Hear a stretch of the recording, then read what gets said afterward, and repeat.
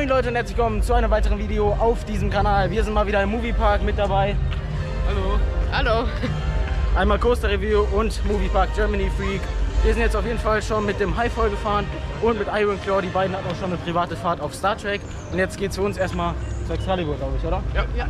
Let's go.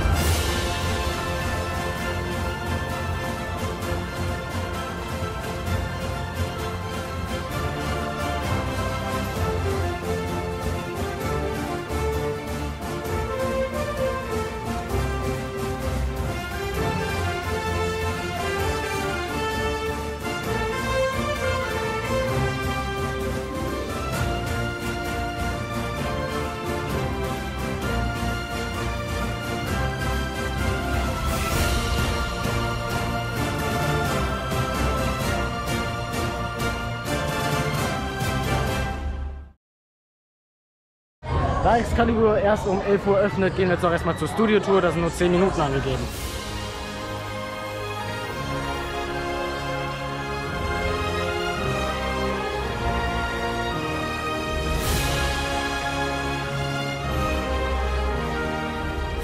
Nach der Studiotour geht es jetzt für uns erstmal auf Excalibur. Hier ist schon ein bisschen was los auf jeden Fall.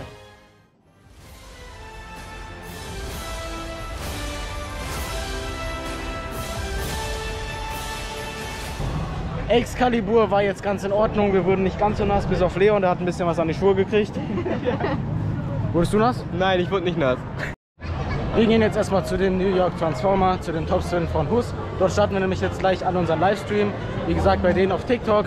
Einmal Mopa Germany Freak Hi. und Coaster Review. Hallo. Und bei mir könnt ihr den auch auf YouTube schauen. Ich weiß nicht, ob ich ihn noch online lasse. Werden wir mal sehen.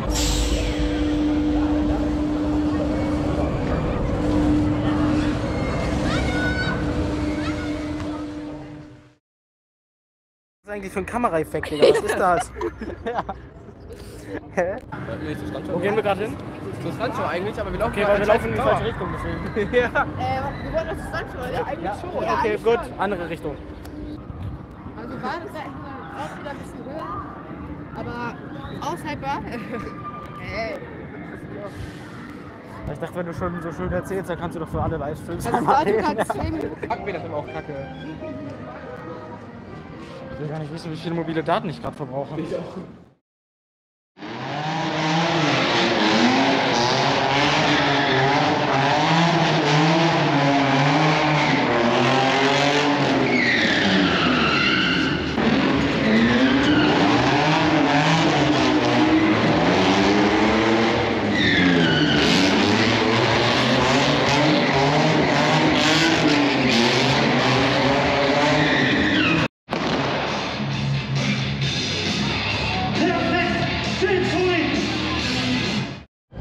Nach der Stuntshow Operation Red Carpet gehen wir jetzt zu. Star Trek. Vierte Runde.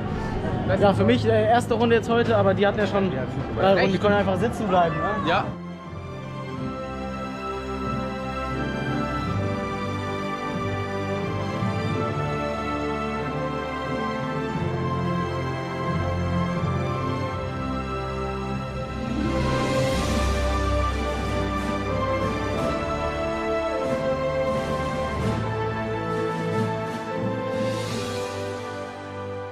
Jetzt gerade Star Trek in der ersten Reihe gefahren. Also zumindest Leon und ich.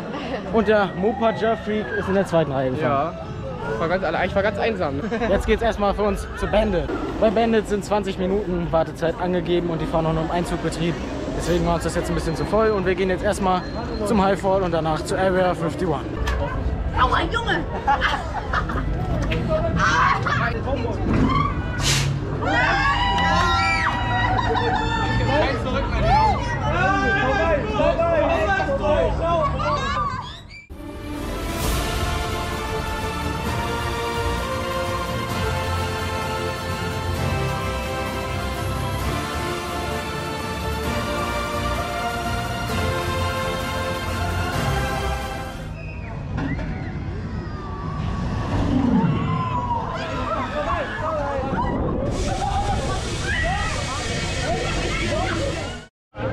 ist jetzt gerade das erste Mal mit dem Highfall gefahren.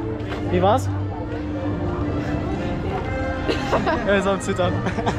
Bei Area 51 sind 25 Minuten angegeben und das ist jetzt ein bisschen zu voll für uns. Deswegen gehen wir wieder zu Star Trek. Das sind 5 Minuten.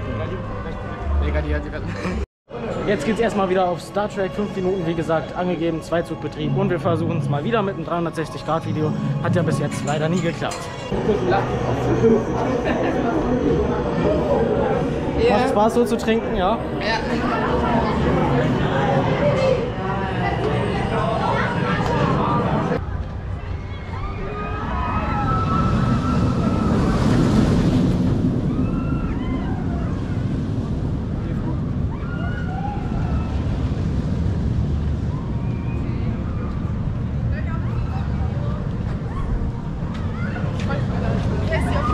Toasterfeld, wo ist das Ihr könnt es euch denken, natürlich hat es nicht funktioniert mit dem 360-Grad-Video.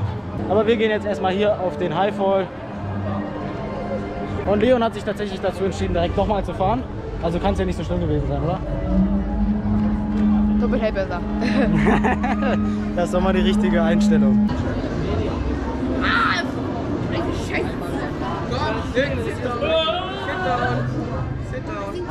Sitz! Du musst hier hochspringen, Alter. Platz! Yeah.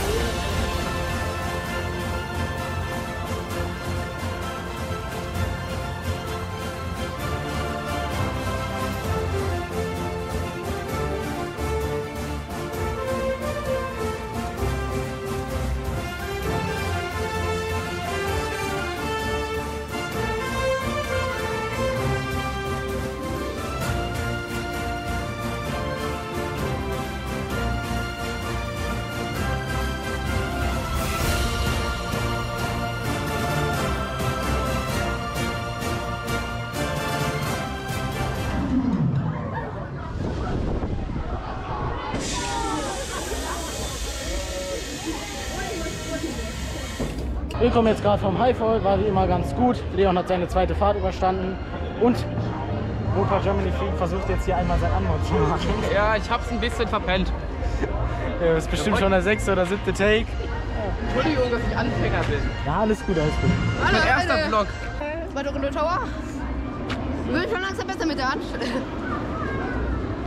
Aber die Bestellung ist halt extrem krass, ne? Lass mal auf, jetzt so filmen, du kleiner Kind. Die anderen beiden wollen jetzt unbedingt Bandit fahren, haben dann aber fünf Minuten angegeben, sind die jetzt auch im Zweizugbetrieb fahren.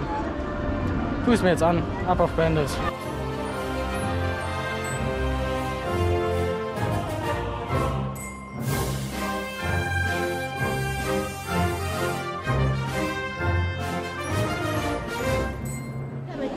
Bandit war wie immer, naja, was sagt ihr? Ich fand's nicht so toll. Das war mega. Kein Kommentar. Kein Kommentar. Leon musste letzte Reihe setzen. Das war nicht ganz so toll. Wir gehen jetzt erstmal. Er hat die ganze Fahrt nur geschrien. Ja, wirklich, ne? Das war, Bruder, das waren Schmerzschreie. Ja, das waren sie bei uns allen. Wir gehen auf jeden Fall jetzt mal auf eine Attraktion, die uns ein bisschen nass macht, wahrscheinlich Dauer. Naja, auf dem Weg liegt jetzt hier erstmal der New York Transformer, deswegen gehen wir da jetzt mal ein bisschen drauf. Was sagst du, wie viele Überschläge machen wir? Ein, weil wir die anderen nicht schaffen. Ein Überschlag ist das Gebot. Ich höre mal nochmal das von Mopa Jetly. Weißt du, Wie viele Überschläge schaffen wir? Fünf. Fünf. Ja. Fünf und Einzel steht im Gebot. Ich meinte jetzt insgesamt pro Fahrt. Was denkst denn du? Ich sag zwei.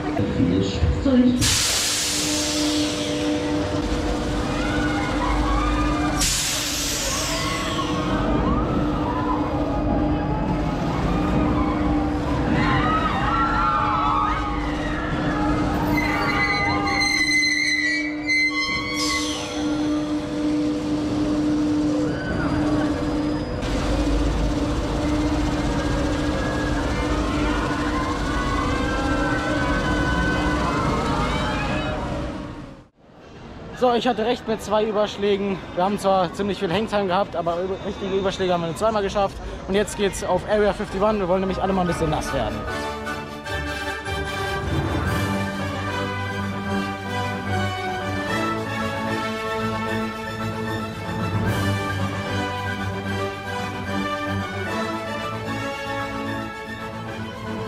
Wir kommen jetzt gerade von Area 51, sind auf jeden Fall ein bisschen nass geworden, aber ich hätte jetzt schon mal gedacht in der ersten Reihe. Wie nass bist du geworden? Gar nicht eigentlich. Nur meine Tasche hat alles abbekommen. Ja, ich habe ein bisschen meinen zweiten Club. Bisschen was abgekriegt.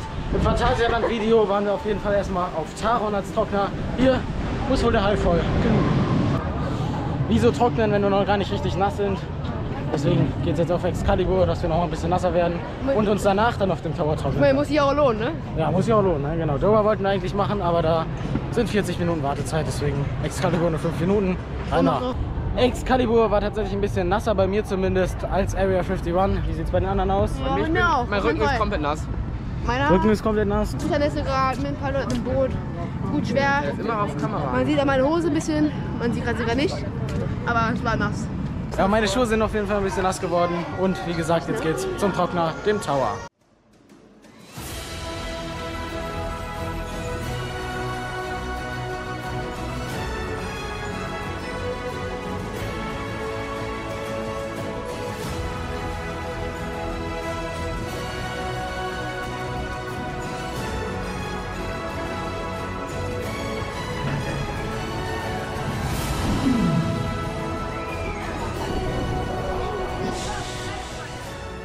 Voll, wie immer ganz gut. Mittlerweile gefällt er dem Leon auch ganz gut. Hallo. Die anderen beiden sind gerade auf Bandit und ich schaue mir hier diese Santa Monica Pier Show an.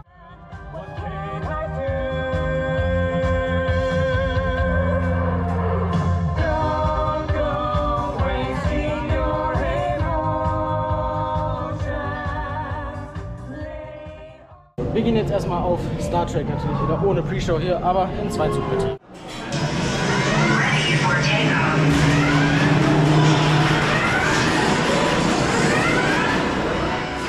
Star Trek bin ich jetzt in der vorletzten und die beiden in der letzten Reihe gefahren. War immer ganz gut. Und jetzt hier auf Leons neues Lieblingsfahrgeschäft, den Tower.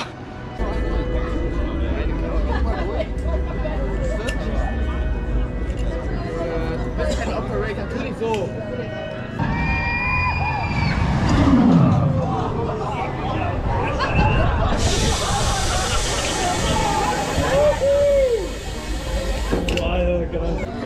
Tower ist meine Lieblingsattraktion. Äh, natürlich das gelogen, das ist natürlich Star Trek. Wir gehen jetzt äh, mal gucken bei Van Helsing, ob es da voll ist. Wenn nicht, fahren wir das und dann machen wir nochmal als Grand Finale den Tower. Nein, Studiotour. Nein, Tower. Was ist Ich los? weiß nicht auf den. Weiter, Hier gibt es auch kleine Diskussionen, wir, wir schauen mal. In 10 Minuten schließen die Attraktionen, das heißt, wir haben jetzt nochmal die Wahl, was wir machen. Wir überlegen gerade Star Trek oder Tower, vielleicht sogar beides, aber das könnte sehr knapp werden. Was würdest du denn du bevorzugen? ja, äh, Tower und danach direkt Trek. Wir schaffen das. Ich bin optimistisch. Denn ich Bist bin auch optimistisch? stark. Ja, natürlich. Natürlich. Ja, ich weiß nicht. Ich glaube, ich bin irgendwie nicht so optimistisch, weil wir müssen da noch hinlaufen. Und wie gesagt, 10 Minuten Attraktionsschließung, Towerfahrt 2-3 Minuten und dann auch noch Star Trek. Wir werden sehen. Jetzt noch mal was ganz anderes, weil wir heute noch nicht Van Helsings gefahren sind. Geht's jetzt hier auf die Indoor-Achterbahn von Gerstlauer. Van Helsings doch viel zu voll, da würden wir jetzt noch mal 30 Minuten stehen oder so, habe ich jetzt auch keinen Bock drauf. Und deswegen geht's jetzt zu Star Trek. Das wird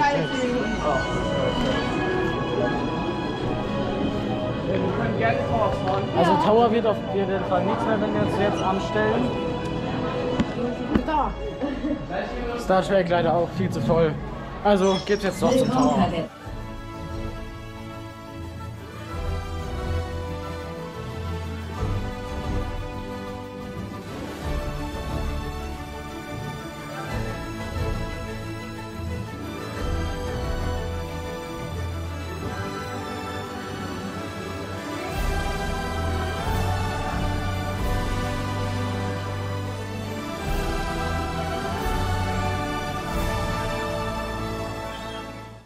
Wir können jetzt noch zweimal Leons Lieblingsattraktion fahren, den Highfall. Einmal äh, vorletzte Fahrt und letzte Fahrt des Tages. Und jetzt verlassen wir den Park, gehen zur Bahnstation. Habt ihr noch was zu sagen? Ciao. Ja, danke, dass ich wieder dabei sein durfte und ciao. Schau bei mir vorbei. Genau, schaut auf jeden Fall nochmal auf den Kanälen vorbei. Hier, Leon hat jetzt irgendwie seinen Vlog einfach aufgegeben. Aber hier vom Opa dran. Job Freak gibt es auf jeden Fall einen Vlog. Natürlich.